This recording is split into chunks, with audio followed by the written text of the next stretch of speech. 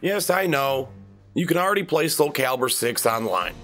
But sometimes, that netcode can interfere with your inputs and combos or just straight up make you not have a good time by lagging, disconnecting, all that frustrating stuff that makes us consider throwing our controllers to Guam.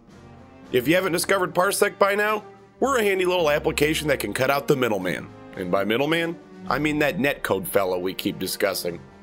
This means you can go peer to peer with your friends and even strangers for a much smoother connection and playing experience. This also means that you can now enjoy other modes that don't have online functions, well, online. Play both of the story modes with your friends, or my favorite, dabbling in a little online training mode. And how could I forget to tell you that this is all free?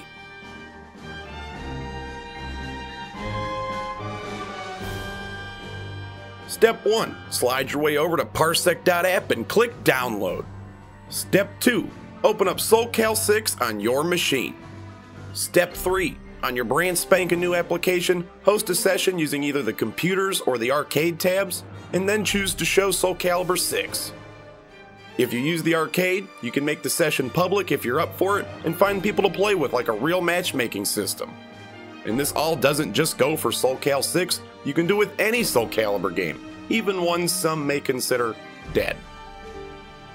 No matter how you play, once everyone is connected, you'll all begin seeing the same screen at the same time, so get your controllers ready and start throwing down.